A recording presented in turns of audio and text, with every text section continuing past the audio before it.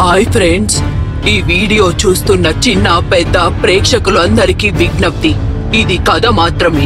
ఇందులో చెప్పబడ్డ చూపబడ్డ దెయ్యాలు మంత్రాలు తంత్రాలు అన్ని కల్పితమే. నిజ జీవితంలో దెయ్యాలు ఉంటాయి అని మిమ్మల్ని నమ్మించడం మా ఉద్దేశం కాదు.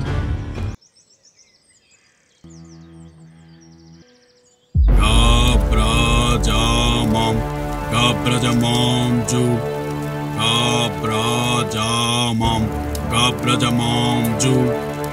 ఇదిగో ఈ గుమ్మడికాయని మీ ఇంటికి కట్టి ప్రతి అమావాస్యకి సాంబ్రాణి ధూపం వేసి నల్ల మేకకి తెల్ల తినిపించండి.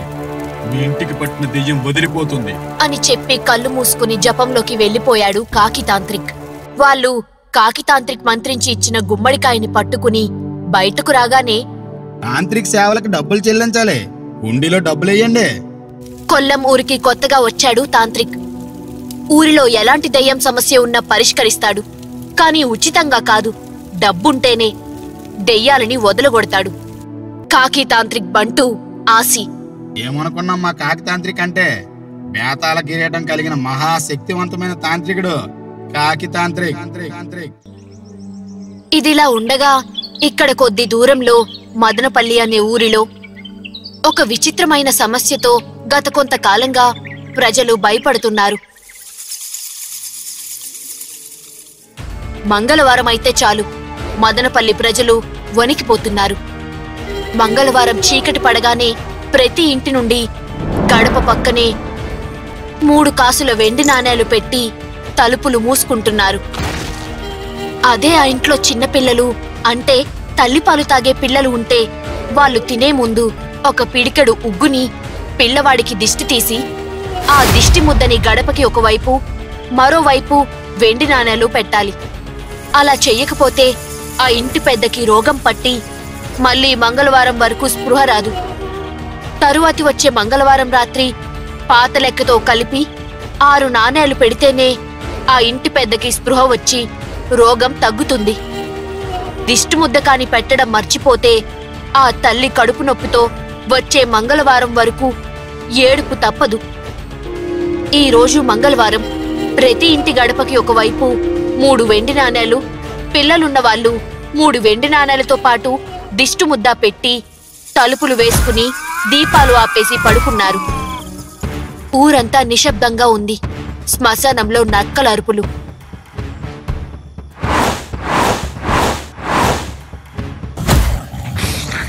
శ్మశానంలో నుండి ఒక భయంకరమైన కుక్క వచ్చి దిష్టి ముద్దలు తింటూ వెళ్తూ ఉంది. చంటి పిల్లలు ఉండి కూడా దిష్టి ముద్దలు పెట్టని ఇంటి ముందు ఏదో పచ్చటి ద్రవం వాంతు చేసి మాయమైపోతుంది. ఎముకల అస్థిపంజరం ఒకటి రెండు చేతులలో రెండు మండే కుండల్ని పట్టుకుని కాళ్ళకి గజ్జలతో నెత్తిన ఒక కుండ పట్టుకుని వీధుల్లో నడుచుకుంటూ ప్రతి ఇంటి ముందు ఆగి గడప దగ్గర పెట్టిన మూడు నాణేలని నాలుకతో మింగేస్తుంది. తెల్లవారవ్వగానే గజ్జల చప్పుడు ఆగిపోతుంది. అప్పుడు దాకా ఎవరు ఇంటి తలుపులు తీయరు. గ్రామ పెద్ద ఈ రెండు దెయ్యాల నుండి గ్రామాన్ని కాపాడుదామని చాలా ప్రయత్నాలు చేశారు. కానీ ఉపయోగం లేదు. పాపం ఒంట్లో బాగోక దిష్టిముద్ద పెట్టకుండా పడుకున్న చంటిబిడ్డ తల్లి అపర్ణకి తెల్లవారు తలుపు తీయగానే దెయ్యం కుక్క వాంతు పచ్చగా కనిపించింది. అంతే అపర్ణకి కడుపు నొప్పి మొదలయ్యింది. ఏ వైద్యుడి చికిత్స పనిచేయదు మళ్ళీ వచ్చే మంగళవారం వరకు ఆ కడుపు నొప్పిని అనుభవించాల్సిందే. ఇదిలా ఉండగా ఒకరోజు అపర్ణ భర్త మధు పట్నంలో పని చూసుకుని వస్తూ వస్తూ వర్షం వల్ల కొల్లం ఊరిలో ఆగిపోవలసి వచ్చింది. ఆ ఊరిలో చాలా మహిమలున్న తాంత్రికుడు ఉన్నాడని తెలిసి వెళ్ళి వాళ్ళ ఊరు సమస్య అంతా చెప్పి మీరు మాత్రమే మా ఊరు సమస్యని పరిష్కరించగలరనిపిస్తోంది తాంత్రిక. అనిపించడమేంటి కాకి తాంత్రిక వల్ల కాని పని అంటూ ఏం లేదు. రేపు మీ ఊరు వచ్చి ఆ దెయ్యాలు పని పడతారు. కాకపోతే మీ ఊర్లో ప్రతి ఇంటి నుండి ఒక బంగారు కాసు దక్షిణగా సమర్పించాలి. తప్పకుండా సమర్పించుకుంటాం. రేపే మీ ఊరు వెళ్దాం. అనుకున్నట్టే తరువాత రోజు మంగళవారం కాకి తాంత్రిక్ మదనపల్లి వెళ్ళి ఆ ఊరి శ్మశానంలో తంత్రహోమంతో క్షుద్ర పూజ మొదలుపెట్టాడు. ప్రతి ఇంటి నుండి ఒకరు వచ్చి కుండలో బంగారు కాసు వేసి వెళ్ళిపోతూ ఉన్నారు. ఈ రాత్రిగా దెయ్యాలను చంపి కాని నేను ఊరు విడిచి వెళ్ళను. ఈ బర్రెని వాటికి బలిస్తా. పిరికి వాళ్ళు ఎవరు ఈ తంతుని చూడకూడదు. జడుసుకు చస్తారు. వెళ్ళి తలుపులు మూసుకోండి. భయపడకండి. గ్రామ పెద్ద ఈ విషయాన్ని ఊరిలో దండోర వేయించారు. కాకితాంత్రిక చేస్తున్న దెయ్యాలంతను చూడడం అరిష్టం. కనుక ఎవ్వరూ బయటికి రావద్దని గ్రామ పెద్ద ఆజ్ఞహో ఆ దండోరతో పట్టపగలే ఊరు మొత్తం నిశ్శబ్దంగా మారిపోయింది. అక్కడ శ్మశానంలో క్షుద్రతంత్రానికి ఏర్పాట్లు చేసి పుర్రెల దండ మెడలో వేసుకున్నాడు కాకితాంత్రిక్.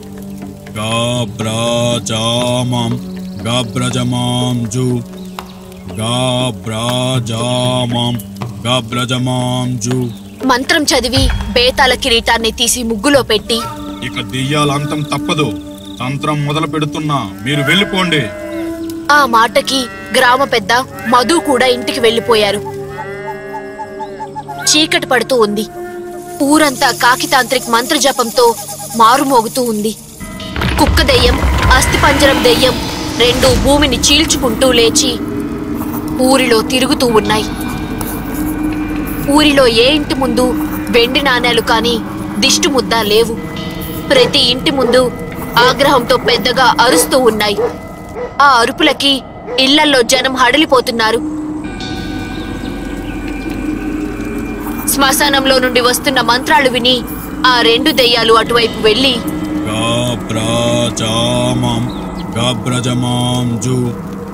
గాబ్రాజామం గాబ్రజమాం జు జు చావు దెయ్యమా చావు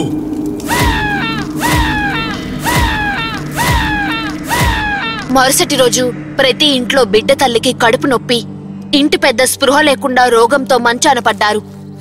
కాకితాంత్రిక్ మాట విని మోసపోయామన్న కోపంతో ఊరిలో వాళ్ళందరూ శ్మశానంలోకి వెళ్ళి చూస్తే చెట్టుకి తలకిందులుగా వేలాడుతూ కాకితాంత్రిక్ ఇంకో చెట్టుకి తలకిందులుగా వేలాడుతూ ఆసి వాళ్ళని దింపబోతుండగా ఆగండి.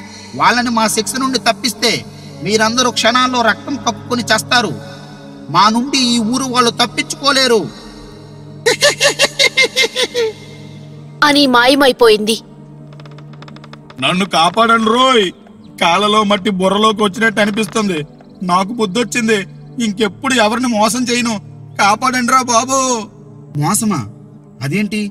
మీరు బేతాల శక్తి కలిగిన గొప్ప తాంత్రికుడు కదా? తాంత్రికుడు కాదు తోటకూర కట్ట కాదు. ముందు ఎవరన్నా త్వరగా మధుర వెళ్ళి మంత్రాలవ్వని తీసుకురండి. లేదంటే చస్తాం. మదిర? అదెక్కడుంది? వెంటనే మధు తన ఎడ్ల బండి పైన ఆసి చెప్పిన వైపు మదిర వెళ్ళి జరిగిందంతా మంత్రాలవ్వకి చెప్పి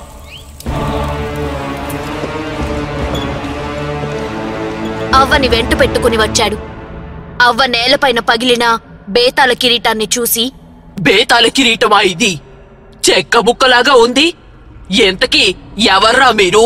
అవ్వా ఒకసారి నువ్వు మా ఊరొచ్చి దెయ్యాన్ని భస్మం చేయడం చూసి అప్పటి నుండి నీ మంత్రం నేను కంఠస్థ చేసి చెక్కతో నీ దగ్గర ఉన్న లాంటి బేతాల కిరీటం చేసుకుని ఊరు ఊరికి మకాం మారుస్తూ దెయ్యాలను వదలగొట్టే మాంత్రికుడినని అందరినీ మోసం చేస్తూ డబ్బులు సంపాదిస్తున్నా. ఈ ఊరు నుండి ఒకడొచ్చి ఇంటికి ఒక బంగారు నాణెం అడిగితే ఇస్తామన్నాడు. ఏదో ఒక రకంగా ఆ బంగారంతో ఊరు వదిలి ఉడాయేద్దాం అనుకునే లోపు ఆ రెండు దెయ్యాలు వచ్చి చెడుగుడు ఆడేశాయి. మా తప్పు క్షమించు. మాకు బుద్ధొచ్చిందవ్వా. బుద్ధొచ్చిందవ్వా. ఆ దెయ్యాల బారి నుండి కాపాడు. కాకి మాంత్రికుడివి కాదా నువ్వు? అయ్యగారు మా గురు అసలు పేరు కంత్రికిరణ్. అందరూ ముద్దుగా కాకి అని పిలుస్తారు. ఆడికి మంత్రాలు గింత్రాలు ఏమీ రావు. మంత్రలవ్వ తన మంత్రదండంతో నేలపై గుచ్చగానే బేతాల రక్షా వలయం ఏర్పడింది.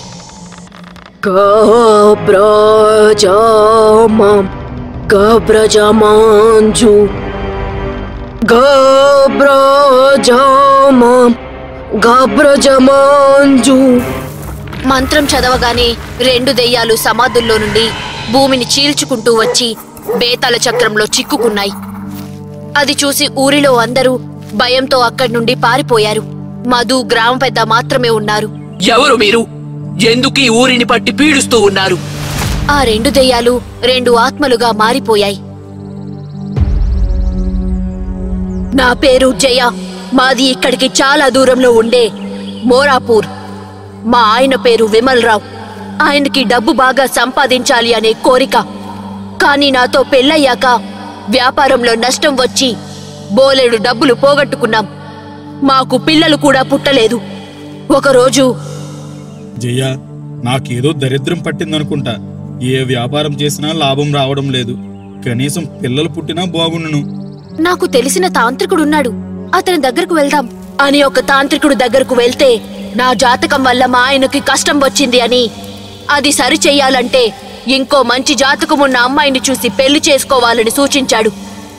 దానితో తాంత్రికుడు చెప్పిన జాతకం గల అమ్మాయి విజయని వెతికి నేనే దగ్గరుండి మా ఆయనతో పెళ్ళి జరిపించాను. అయినా లాభం లేదు. వ్యాపారంలో మళ్ళీ నష్టాలు. విజయకి కూడా పిల్లలు పుట్టలేదు. నేను విజయ వెళ్ళి ఆ తాంత్రికుడిని కలిస్తే మా ఆయనకి పిల్లలు పుట్టి ఆస్తి కలగాలంటే మేమేం చెయ్యాలి? మంగళవారం చావాలి. మంగళవారం భిక్ష తీసుకోవాలి. అప్పుడు భిక్ష సంపద రెట్టింపు అవుతుంది పిల్లలు కావాలంటే కుక్కలాగా మారి దిష్టి కూడు తినాలి. మా ఆయన కోసం మేము చావడానికి సిద్ధం. అయితే ఎవ్వరికీ చెప్పకుండా మీ దగ్గర ఉన్న బంగారం మొత్తం తీసుకొని రేపు చీకటి పడ్డాక రండి. అని మా ఇద్దరిని ఈ ఊరిలోకి తీసుకువచ్చి మా చేత ఏవో క్షుద్ర పూజలు చేయించి మంగళవారం పూట క్షుద్రశక్తికి మమ్మల్ని బలిచ్చి పాతి పెట్టేశాడు అప్పటి నుండి మేము ఈ ఊరిలో దెయ్యాల్లాగా తిరుగుతున్నాం. ఊరు వదిలి మా ఆయన దగ్గరకు వెళ్ళిపోదామంటే ఈ ఊరు పొలిమేర చుట్టూ ఆ తాంత్రికుడు రక్ష కట్టాడు. అది దాటి వెళ్ళలేక మా ఆయనకి సిరి సంపదలు కలగాలని పిల్లలు పుట్టాలి అని వాడు చెప్పినట్టు దెయ్యాలుగా మారి చేస్తున్నాం. చాలా సంవత్సరాల క్రితం మా ముత్తాత కల్లోకి ఇద్దరు ఆడవాళ్ళు తరచూ వచ్చి ఊరు మంచి కోసం ప్రతి మంగళవారం ప్రతి ఇంటి గడప దగ్గర మూడు వెండి నాణేలు పెట్టాలి. పిల్లలు ఉన్నవాళ్ళు దిష్టి ముద్ద భిక్షగా పెట్టాలి లేదా అరిష్టం అని చెప్పడంతో మేము ఈ ఆచారాన్ని నాలుగు తరాలుగా పాటిస్తున్నాం. గబ్రజమం గబ్రజమాంజు గబ్రజమం గబ్రజమాంజు మంత్రం చదివి పొట్టి దెయ్యాన్ని పిలిపించింది. వీళ్ళ మొగుడు ఎక్కడున్నా తీసుకురా. వాడికి నేను కనిపించను కదవ్వా ఇదంతా జరిగి నూట పది సంవత్సరాలు అయ్యిందిరా. ఇంకా బ్రతికొండడానికి వాడేమైనా తాబేలా మనిషి. ఓం! బగిని బుగతే బగ బాజిరే. అం హరిణి కిడతే కిడ కాజిరే ఉడతే మిడతే బూంబుస్ స్వాహ. ఉడతే మిడతే హం.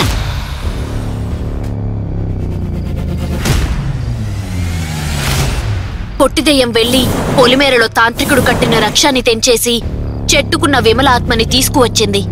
మీరు కనిపించకుండా పోయినప్పటి నుండి పిచ్చి పట్టి తిరుగుతున్నా. కొన్నాళ్ళకి చచ్చి పిశాచుగా మారిపోయా. అమ్మయ్యా ఎన్నాళ్ళకి కనిపించారు? పదండి పోదాం.